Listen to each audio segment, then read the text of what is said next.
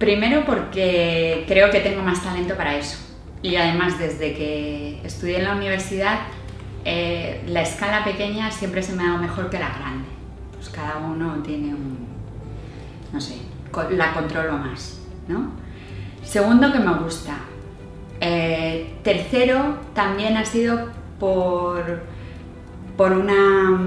ha sido una decisión estratégica porque llegó un momento en el que por la crisis eh, yo pensé que la, que la obra nueva, o sea, lo que es la obra nueva, había muerto.